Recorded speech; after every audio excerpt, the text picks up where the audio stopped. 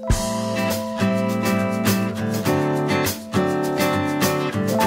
my name is Yale Pollack. I'm the founder of the law offices of Yale Pollack PC.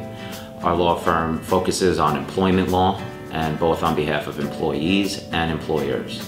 On behalf of employees, we assist in helping them understand what their workplace rights are and to understand whether they have any under, other claims or claims against their employer, whether it's discrimination, harassment, retaliation, or failure to be paid properly.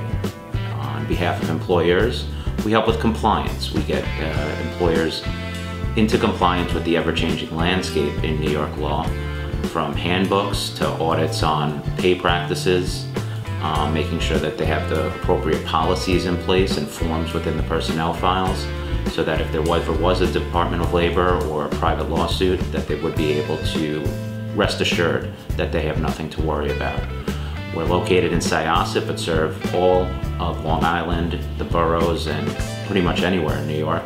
We can help in any facet. We give free consultations to help understand whether or not there is a claim that's available either to the employee or whether there's a claim that may be brought against the employer where a defense is available to them that we can always explore. Again, we're here to help and help understand the workplace rights in this ever-changing landscape. And please feel free to contact us at any time, either on the phone at 516-634-6340 or by email to ypollack at yalepollacklaw.com.